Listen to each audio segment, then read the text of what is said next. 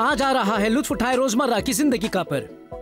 उन्हें टीवी पर देखती और सोचती कि मैं बातें करने से खुद को रोक नहीं पाती। मुझे सही बातें करने की ज़रूरत थी। अब मुझमें बेचैनी का आलम नहीं, अब कोई खौफ नहीं रहा, अब कोई परेशानी नहीं। अब बस ये कहती हूँ, मैं उसके लिए तैयार हूँ।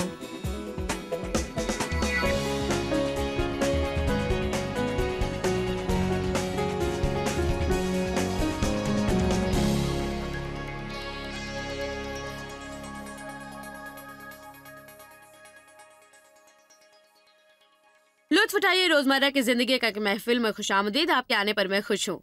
आपके जो भी हालात हों, आपकी जो भी जो भी दुश्वारियाँ हों, एक नुस्खा है जो आपको कामयाब बना सकता है, वो और वो है कलाम इलाही।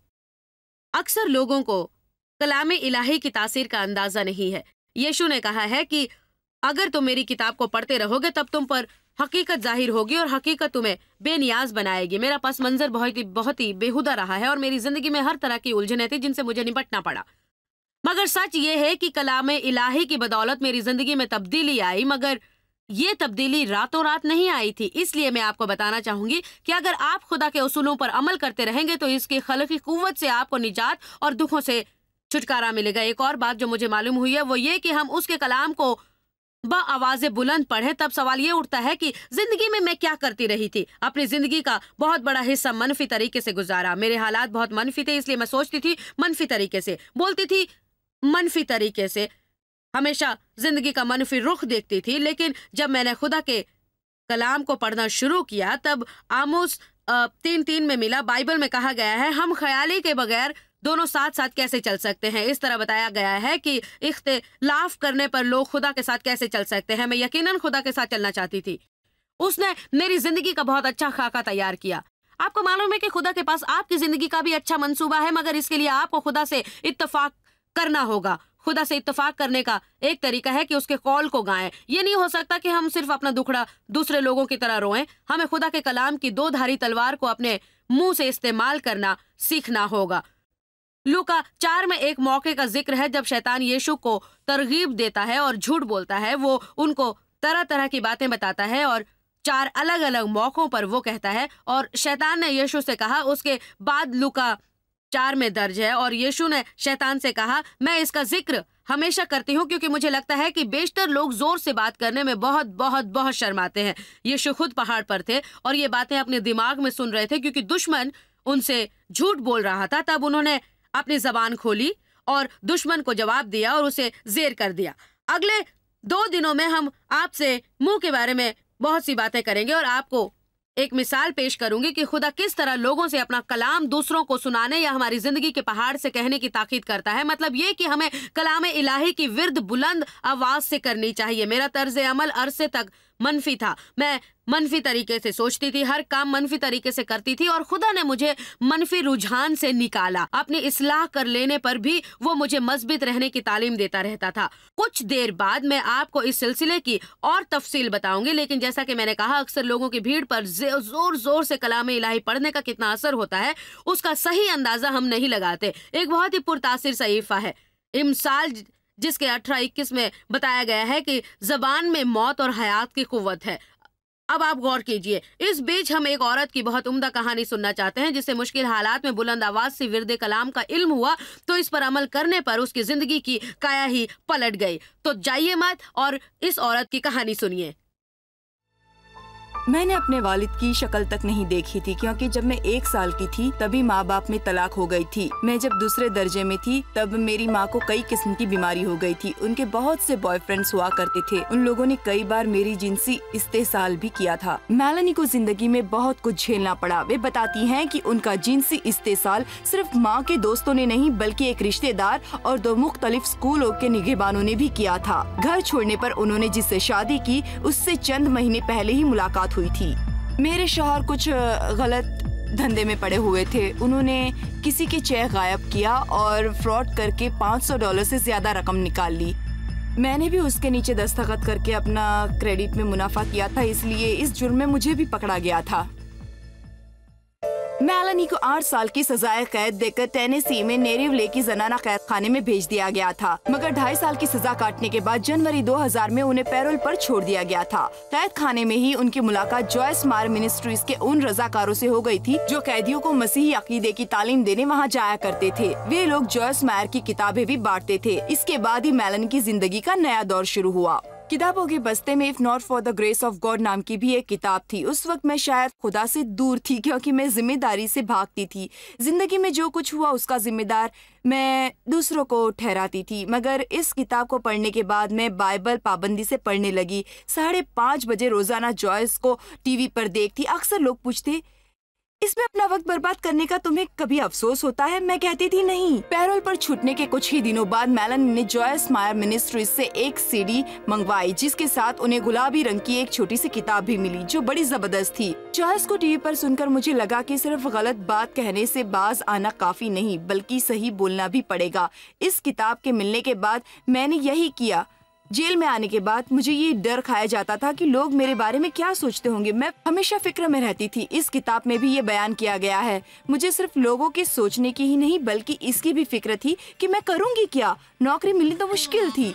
जेल में जाने वालों को लोग अच्छी नज़र से नहीं देखते हैं। जब मेलानी ने अकीदतन खुदा के कलाम को पढ़ना शुरू किया तो उसकी ज़िंदगी में तब्दीली आने लगी। उसके अंदर एतमाद पैदा हुआ कि ईसु के नज़दीक उसकी क्या हैसियत है। वे दोबारा शादी करके खुश है। The secret power of speaking God's word में दर्ज सहायक के ज़रिए मेरी ज़िंदगी में इनकलाब आ गया है। क्योंकि खुदा के कलाम में जान है। खुदा के बगैर सही ज़िंदगी नहीं मिल सकती। अब मैं घर ही में दो बिज़नेस करती हूँ। मेरे प्यारे प्यारे बच्चे हैं जिनके साथ रहने में मुझे खुशी मिलती है। खुदा ने वाकई मुझे नई ज़िंदगी दी है। अब मुझे कोई फ़िक्र नहीं है। अब कोई डर नहीं है। अब कोई तरद नहीं है। मेरी जबान से यही निकलता है। देते जाइए। खुदा के पास मेरे लिए जो भी है, उसके लिए मैं तैयार हूँ। मुझे यकीन है कि मेलेनी का बयान आपने दिलचस्पी से सुना होगा। आज वो मेरे साथ स्टूडियो में है। मैंने खुश आमदीद शो में आने का शुक्रिया। मैं खुश हूँ यहाँ कर आप टेनिस की हैं तो क्या आज आपसे मुझे दखनी लहजे में बात करनी होगी? मेरी ज़ुबान में। तुम्हारी जबान। अच्छी बात है ऐसा महसूस हो रहा है कि आपको बड़ी सख्तियाँ झेलनी पड़ी मगर अक्सर मुश्किलात को आपने सर कर लिया है। ये बताइए कि यीशु को आपने निजात दहिंदा कब माना? सच पूछिए तो उन्हें अपना निजात देने वाला उस वक्त तस्लीम कर लिया था जब मैं स्कूल की बच्ची थी। मेरी ज़िंदगी कलीसिया में ही गुजरी। मेरी दादी हर हफ़्ते ले जाती थी मगर मैं दूर होती गई। मैं शख्सियात को सुनने से करने पर यकीन करती थी। मतलब ये कि यीशु से जाति वास्ता पैदा करने से ज़्यादा आपको चर्च के कायदे कानून मानने पड़ते थे है ना? जी ऐसा ही था। और न खिले जेल में आपके रजाकार आए और किताबों का बस्ता पेश किया तो मैं सोचने लगी जो शख्स इतना ख्याल रखे उसे सुनना चाहिए इसलिए मैं सुनने जाने लगी। उन लोगों ने हम पर न दबाव डालने की कोशिश की और न हम लोगों से बात करने की ज़रूरत समझी। ताहम उन लोगों ने हमें कैद खाने के नंबर से नहीं बल्कि आदमी की तरह अच्छा है खूब। उस थैले में आपको कोई किताब मिली? और उस किताब का उन्वान क्या था? If not for the grace of God अच्छी किताब है ना? हाँ बिल्कुल। इसमें बताया गया है कि हमें किस तरह हर चीज़ की तकलीद नहीं करनी है। इसमें सिर्फ़ कानून और जबतों को नहीं, बल्कि यीशु के वास्ते से, खुदा से ताल्लुक पैदा करने को कहा गया है। तभी रूह खुद हमें खुदा के कहे को करने की तौफीक देता है और हमें खुदा का शुक्रिया अदा करना चाहिए, ना कि खुद पर फक्र करते रहना कि हम कुछ कर रहे हैं। आज कलाम इलाही को जबान से अदा करने की अहमियत पर बात करेंगे, इसलिए इस मसले के मज़बूत रुख पर बात करने से पहले मैं आपसे एक सवाल करूँगी, क्या आप अपने गुजरे वक्त में बहुत मनफी बातें किया करते थी? हम इस बारे में जानना चाहेंगे। मैं किसी गिनती में नहीं थी। कोई मुझसे अच्छी तरह पेश नहीं आता था मैं हमेशा गार में छिपी रहती थी कोई भी मेरा साथ पसंद नहीं करता बस यही कुछ कहती हाँ। और कुछ हाँ और भी बहुत कुछ हाँ। हाँ। बचपन में मेरा जिनसी इस्तेसाल हुआ था और आपके बयान में भी सुनने में आया कि आपके साथ भी कुछ जिनसी बेहुदगियाँ हुई थी। मेरा ख्याल है कि लोगों के साथ कभी भी किसी भी तरह का इस्तेसाल होते रहता है। ज़रूरी नहीं कि जिनसी ही हो। अजदवाजी रिश्ते में भी ठुकराया जाता है तब सब कुछ हम अपने सर ले लेते हैं। हम सोचते हैं कि मेरा कसूर है मेरा कसूर है मेरी गलती है। मुझे मुझे क्या हो गया है? क्या आपने कभी ऐसा सोचा?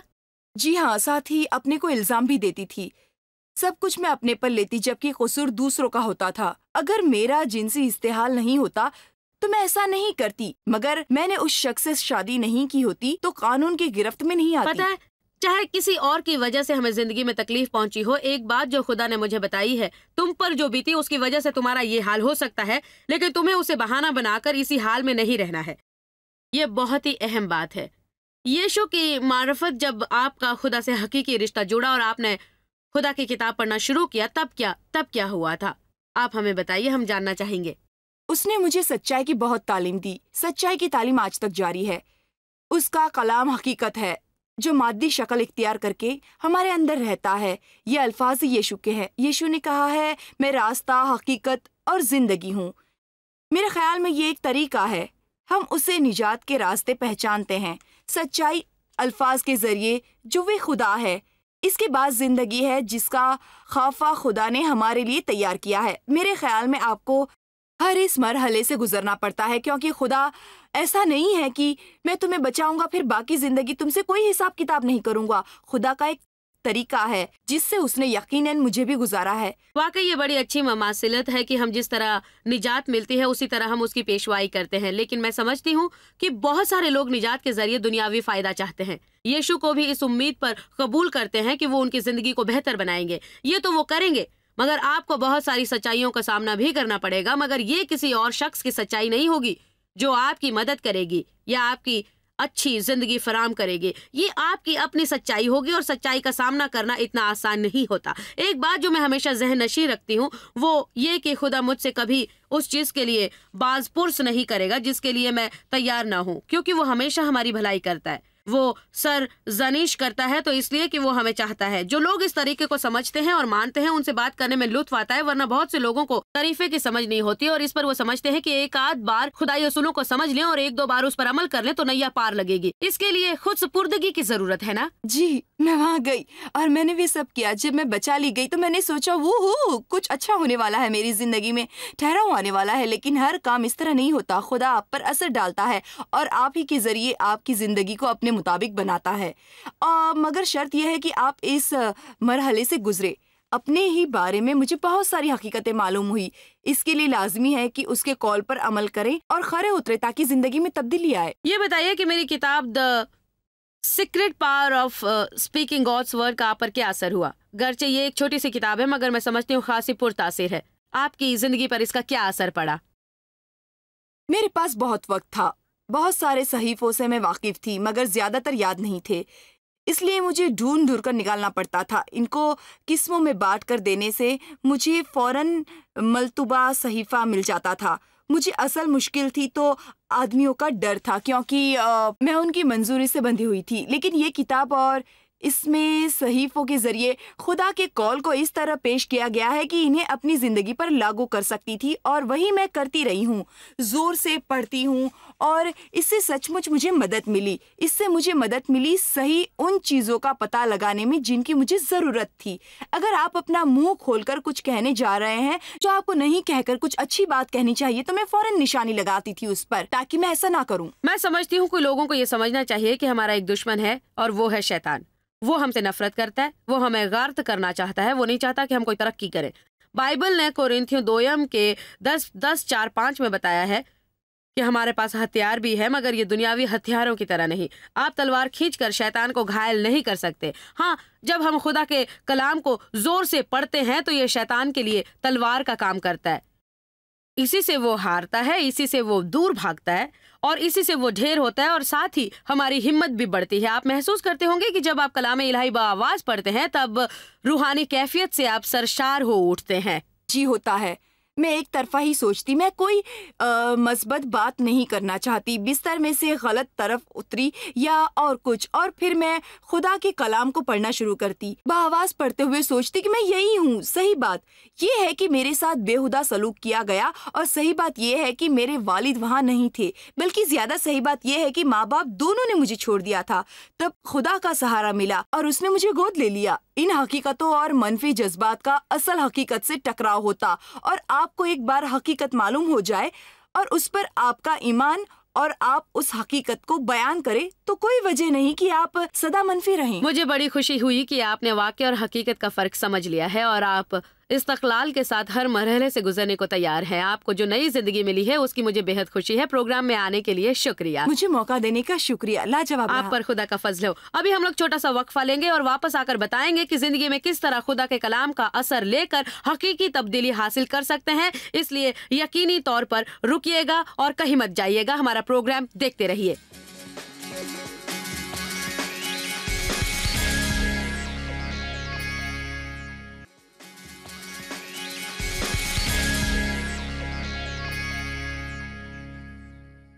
दोबारा खुश आमदेद। आज हम लोग बात करेंगे कि हमारी बातों की क्या तासीर होती है। मेरा ख्याल है कि इससे लोगों को अच्छी तरह समझ में आएगा कि हमारी रोज़मर्रा की ज़िंदगी पर खुदा के कलाम का किस तरह अतलाफ होता है। मैं नहीं जानती कि इस वक्त आपकी ज़िंदगी में क्या हो रहा है। मुमकिन है कि आप मायूसी और बेचारगी के शिकार हों और मसाइल की कसरत आप पर हावी हो और आपको इससे निकलने की उम्मीद ना हो। मगर सच ये है कि आप अपने मुस्तबिल को नतीजा खेज बना सकते हैं। बस आपको ये सीखना होगा कि खुदा आपकी ज़िंदगी के बारे में जो कहता है, वो आपको किस तरह इजहार करना चाहिए। आपके लिए ज़रूरी है कि आपको खुदा के कलाम का विरद करना आना चाहिए, साथ ही आपको ब आवाज़ विरद करना आना चाहिए, क्योंकि जैसा कि मैंने पहले कहा, जबान में मौत, व हयात की ताकत होती है। अपनी कॉन्फ्रेंसों में हम अक्सर लोगों से पूछते हैं कि मेरी किताब the secret power of speaking God's word में जो मालूम है, उनके बारे में वो क्या महसूस करते हैं? मेरा ख्याल है कि हर कोई तय की कोई बात जानना चाहता है।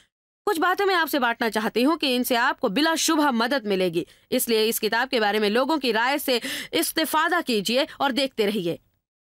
मैं नहीं समझती कि कोई भी शख्स इसकी खूबियों का सही अंदाज़ा लगा पाएगा। मेरे लिए तो ये काया पलट देने वाली चीज़ है। The secret power of speaking God's word ने मुझे बुलंदी अता कर दी है। उस मुकाम पर जहाँ कुछ कुछ न कुछ होते रहता है। इस किताब को उठाते ही मेरा हौसला बढ़ने लगा। ये हैरत अंगेज है क्योंकि जब मुझे कबूल न किए जाने का मसला दरपेश होता है तो इसे मैं अपने बिस्तर में सराहने रखती हूँ। मुझे पता होता है कि ये कहाँ है। खुदा की सोच के मुताबिक अपनी सोच को ढालने के लिए ये किताब फौरी और आसान वसीला है। मेरा अपना बिज़नेस है और अकेली माँ हूँ। और दूध की एक बीमारी से जूझ रही हूँ। मैं देख रही हूँ कि वे सारे हालात आहिस्ता आहिस्ता मगर यकीनी तौर पर बदल रहे हैं और मेरी ज़िंदगी में मस्बत चीज़ें आने वाली हैं। ये बहुत ही पुस्तासीर है। जब मैं महसूस करती हूँ कि खुदा के वे कलमात जो मुझे फौरी चाहिए तो वे किसी खास मौके पर याद नहीं आते तो उस छोटी गुलाबी किताब से रजू करती हूँ। ये बेशकीमत किताब है। बहुत ही बेशकीमत किताब है ये। The secret power of speaking God's word Joyce Meyer Ministries में हम इश्तियाक से इसे नन्नी गुलाबी किताब कहते हैं। मैं खुद इस किताब से फ़ायदा उठाती हूँ। कल सुबह और आज सुबह भी जब मैं खुदा के साथ वक्त गुजार रही थी तो मैंने मुख्तलिफ़ हिस्सों में दर साहब को बवाज़ बुलंद कबूल किया। आज सुबह को मैं खुदा की नवाजिशों वाले हिस्से को देख रही थी। जानते खुदा हमें अपनी मौजूदगी से नवाजता है और बतौर मदद हमारी ज़िंदगी को ताकत बख्शता है ताकि जो हमें करना चाहिए उसे हम कर सके। मुझे पता था कि आज बहुत सारे काम निपटाने हैं। ये मुख्तलिफ़ नौत के का, काम थे खुद को याद दिलाने के लिए कि मुझ पर खुदा का फैज पहुँच रहा है। मैंने अपनी ही किताब के फजल वाले सहीफे का आवाज़ बुलंद पढ़ना शुरू कर दिया। इस तरह मेरे अंदर एतमाद आया कि आज मुझे जो करना है उसे करने का खुदा अहल बनाएगा। मैं आपको यसाया पचपन पढ़कर सुनाना चाहती हूँ। शुरू करती हूँ। आयत आठ यानी यसाया पचपन आयत। और मैं चाहूँगी कि आप इसे ध्यान से सुनिए। इसमें लिखा है कि मेरे ख्यालात के लिए तुम्हारे ख्यालात नहीं है और ना तुम्हारा तरीका मेरा तरीका है। खुदा का कहना है, हमें बेहद खुश होना चाहिए इस बात पर कि खुदा के ख्यालात हमसे बहुत अफजल हैं। आयत नौ में लिखा है, क्योंकि आसमान ज़मीन से ज़्यादा बुलंद है इसी तरह हमारे तरीके तुम्हारे तरीके से बुलंद है और मेरे ख्यालात तुम्हारे ख्यालात से आला है। कलाम इलाही बाइबल में जो मेरे हाथ में है, यकीनन खुदा के ख्यालात रकम है। इसलिए हमें खुद से पूछना चाहिए कि मेरे जहन में जो ख्यालात आते हैं, वो मेरे हैं या वो ख्यालात शैतान के हैं जो उसने मेरे दिमाग में दाखिल करने की कोशिश की है। तो खुदा के ख्यालात मेरे ख्यालात से बेहतर हैं और उसके ख्यालात मेरे ख्यालातों से बुलंद हैं। इसलिए अपने ख्यालात का इकरार करने या अपने एहसास का इकरार करने या अपने हालात को तस्लीम करने के बजाय अपनी ज़िंदगी पर खुदा के कलाम के असर को कबूल करें, क्योंकि उसका कलाम हमारे तरीके और हमारी फ़िक्र से बुलंदतर है। अब ये सुनिए, आयत दस में यहाँ पर लिखा है, क्योंकि जिस तरह आसमान से बारिश और बर्फ़ गिरती है, मगर वहाँ वापस नहीं जाती, बल्कि ज़मीन को सैराब करती है और उसकी शादानी का सबब होती है ताकि बोने वाले को बीज और खाने वाले को रोटी मिले। गौर कीजिए, किसान ज़मीन में बीज डालता है, तब बारिश और बर्फ़ बरस कर बीज को सैराब करते हैं और बीज के सैराब होने पर अंकुर फूटता है और हम फ़सल पाते हैं। और गौर से सुनिए। ईसाया पचपन ग्यारह, इसी तरह मेरे अल्फाज होंगे जो जबान से निकलते हैं। ये मेरी तरफ़ नहीं लौटते, बिला फैज कोई असर पैदा किए बगैर। ये बेकार नहीं जाएँगे, बल्कि हमारी ख्वाहिश और मकसद को पूरा करेंगे। ये उस काम में मुअसर साबित होगा, जिसके लिए भेजा गया है। असल में ये मुझे बताते हैं कि खुदा के कलाम को ज़ोर से पढ़ने पर हकीकतन अपने अकीदे के बीच की सैराबी होती है। आपको कहना चाहिए, मैं खुदा पर भरोसा करता हूँ कि मेरी ज़िंदगी में तब्दीली लाएगा। अब मुझे पूछने दीजिए, क्या आपकी ज़िंदगी में ऐसा कुछ है जिसके बदलने के लिए खुदा से उम्मीद लगाए हुए हैं? देखिए, आपका अकीदा मजहूल हो सकता है या आपका अकीदा फाल हो सकता है। अकीदा एक तोहफा है जो खुदा हमें देता है और ये हमारे दिल में रहता है। मगर अकीदे का इजहार भी ज़रूरी है। अपने अकीदे के इजहार का तरीका यह है कि कलाम इलाही को ज़ोर से अदा करें या इबादत के ज़रिए या खुदा की हिदायत पर अमल करें। चूँकि हम लोग कलाम इलाही को बाआवाज अदा करने की बात कर रहे हैं तो ये भी कहने दीजिए कि बाज हालात के बदले जाने के लिए हम अकीदे का बीज बोते हैं जैसा मेरा आ, बच्चा है जिसमें बदलाव की ज़रूरत है या अजदवाजी झमेला है या मुझे माली परेशानी है या मेरा कोई और तरीका है जो मसला खड़ा कर देता है या मुझे नौकरी चाहिए ये जो सूरत हाल चाहे जो भी हो, ये नहीं कहना चाहिए कि ये हालात बदल जाएँ। इस वास्ते मैं खुदा पर यकीन रखता हूँ। इसके बाद आप किसी दोस्त के साथ लंच पर जाएँ और वो कहे, मैं देख रहा हूँ कि तुम कई महीनों से बेरोजगार हो। फिर गुजर बसर कैसे हो रही है? तो आप मनफी बातें बताने लगे। डरता हूँ कोई काम मिलेगा भी या नहीं। मैं बहुत पीछे छूटता जा रहा हूँ। समझ में नहीं आता कि क्या है। ऐसे ही वक्त में ज़रूरत है कलाए में इलाही के विरद के ज़रिए अपने अकीदे के बीज को सींचने की जो मेरी ज़मीन में है। सिर्फ़ लोगों की मौजूदगी में उनसे गपशप करते हुए ही ना किया जाए, बल्कि मेरा बेहतरीन मशवरा है कि हालात को बेहतर बनाने के लिए कलाम इलाही के विरद को ज़िंदगी का मामूल बना लिया जाए। मिसाल के तौर पर मुझे जुर्म और मलामत के एहसास से ज़िंदगी में बहुत उलझना पड़ा, इसलिए मैं हमेशा सोचती और जो कुछ करती वो सब मुझे गलत लगता। क्या आप भी ऐसा करते हैं? क्या कभी आपने यह सोचने में वक्त गुजारा या जाया किया कि हर मामले को आप किस बुरी तरह से निपटाते हैं? मैं ये नहीं हूँ, मैं वो नहीं हूँ, मुझे यही होना चाहिए था। मुझे वो नहीं होना चाहिए था। लेकिन बाइबल में जब मुझे पता चला कि सिर्फ़ खुदा मुझे बदल सकता है और मेरे अंदर उसका अमल जारी है, और अब यीशु को मानने वालों की मजम्मत नहीं होती और जब खुदा मेरी ज़िंदगी को बदल रहा है तो मुझे इसका लुत्फ लेना चाहिए। ये बात मुझे उस वक्त समझ में आई जब अपने ही बारे में मनफी ख्याल आते थे। उनको मानने के बजाय मैं ये कहती, ठीक है, मैं अच्छी नहीं हूँ, कभी कुछ नहीं बदलेगा, हर चीज़ में मेरा कसूर है। ज़िंदगी में हज़ारों बार मैंने कहा होगा, हर चीज़ में मेरा कसूर है, मैं कुछ नहीं सही करती, सब मेरी गलती है। यकीन जानिए, मैं अब ऐसा नहीं करती हूँ, क्योंकि खुदा के साथ अब मैं चल रही हूँ। आमोस तीन तीन में है, हम ख्याली के बगैर दोनों एक साथ कैसे चल सकते हैं? हमें यकीन करना चाहिए कि मुझे खुदा और अपनी ज़िंदगी के लिए उसके मंसूबे से पूरा इतफाक रखना है और शैतान और ज़िंदगी के लिए उसके मंसूबे से इतफाक नहीं रखना है। आप कह सकते हैं अच्छा जॉयस, मेरा अकीदा तो नहीं रहा। मैं आज आपसे पूछती हूँ, अपने बारे में आप क्या कहते हैं? अपने माजी के बारे में आप क्या करते हैं? आप आपको लगता है कि माजी का आप पर हमेशा अख्तियार रहेगा? बाइबल में कहा गया है कि माजी को भुलाकर आने वाली चीज़ों पर तवज्जो दे। इसलिए ये कहने के बजाय कि मैं अपनी माजी को कभी नहीं भूल सकता, मैं आपको ये कहने की सलाह दूँगी कि मेरे माजी का मुझ पर कोई अख्तियार नहीं, मेरे माजी का मुझ पर कोई अख्तियार नहीं, क्योंकि यीशु की उम्मत का मैं नया इंसान हूँ। हाँ मेरे अजीजों, बाइबल में आया है कि जब हम यीशु को अपना नजात दहिंदा तस्लीम करते हैं, तब हम नई मखलूक हो जाते हैं। पुरानी चीज़ें खत्म हो जाती हैं और हर चीज़ कतई नई हो जाती है। मैं चाहती हूँ कि आप सोचें, अपने और अपनी ज़िंदगी और अपने माजी, अपने मुस्तबिल और खुदा के बारे में जो आपको चाहता है। अब ये ईसाया पचपन आठ देखिए। मेरे ख्याल तुम्हारे ख्याल नहीं और ना तुम्हारे तरीके मेरे तरीके हैं। ये अजब सा लग सकता है कि अपने घर में खुदा के कलाम को ऊँची आवाज़ में पढ़ें या खुदा के कलाम को कार में ज़ोर से पढ़ें। लोग अगर देखेंगे तो सोचेंगे कि आप खुद से बात कर रहे हैं, मगर खुदा कहता है कि उसके तरीके बुलंद हैं, हमारे तरीके बुलंद नहीं हैं। वो हमें अपने कलाम को ऊँची आवाज़ में पढ़कर दो धारी तलवार की तरह इस्तेमाल करने को भी बताता है, क्योंकि ऐसा करके हम दुश्मन को पस्त कर सकते हैं, उसे हरा सकते हैं। मैं कलाम इलाही हमेशा आपके हाथ में देखना चाहती हूँ, क्योंकि यहाँ जॉयस मायर मिनिस्ट्रीज में कलाम इलाही की बड़ी अहमियत है, और मैं जानती हूँ कि जाती तौर पर इससे मैं कितना फैजियाब हुई हूँ। मैं चाहूँगी कि कलाम इलाही का आपके पास बड़ा जखीरा हो। आपके हवाले के लिए आपकी लाइब्रेरी में किताबों के अलावा सी डी डीवीडी और दूसरे मालूमती वसायल हों। इसी ख्याल से हम हर प्रोग्राम में वसायल पेश करते हैं, या ऐसे ऐसे, ये ऐसे मवाद हैं जिन्हें आप मुश्किल वक्त में या जब वाफियत हासिल करना चाहें इस्तेमाल कर सकते हैं। मैं अक्सर लोगों से कहती हूँ कि आप डॉक्टर बनना चाहते हैं तो डॉक्टरी की तालीम के बगैर नहीं बन सकते।